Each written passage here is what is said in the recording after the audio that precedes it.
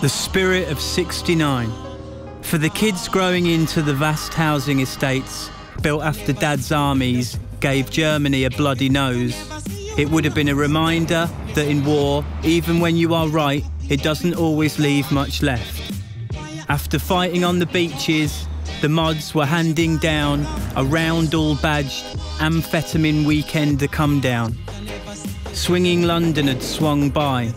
It was time to remove the fog lights, the mirrors, and the fuss. Kids were already asking for short hair, in the mirror, on the chair.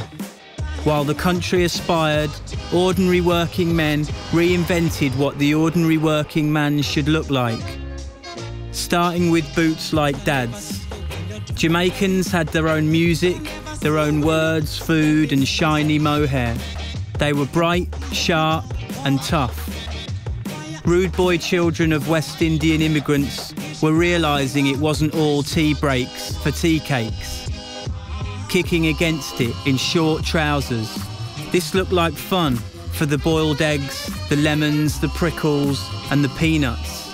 They would soon get a name that stuck the skinhead.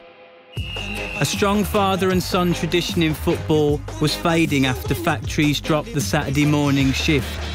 But then we beat Germany again for the World Cup.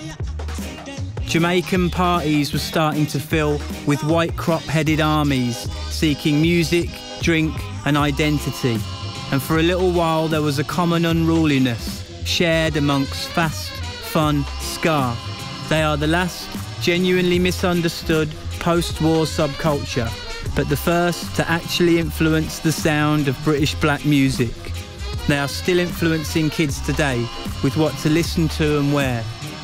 The boots, the braces, scooters, race, music, and football. The spirit of 69.